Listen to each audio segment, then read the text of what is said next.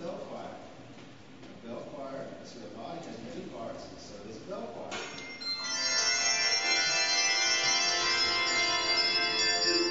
Each bell and each ringer is important. Rocky's big bell is no more important than Jones' little bell.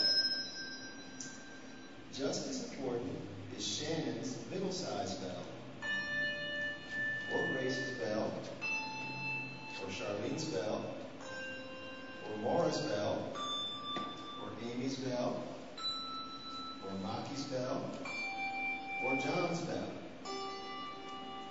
If the bell choir was made up of just one bell,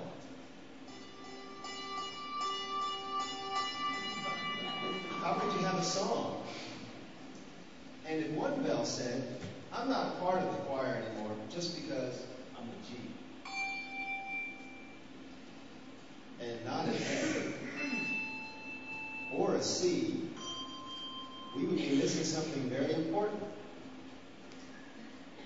She doesn't want to be part of the choir anymore.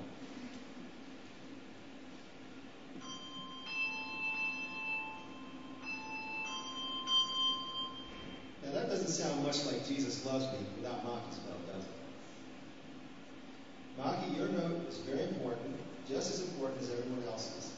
Let's hear that again with Maki playing.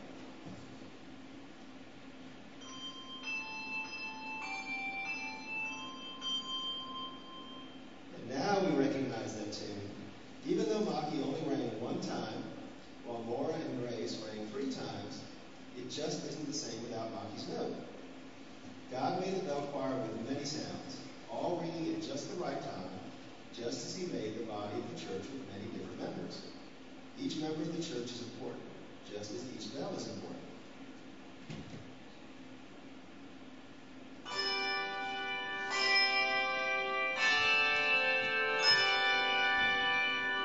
Because of this, we have harmony in the bell choir, just as we have harmony in the church.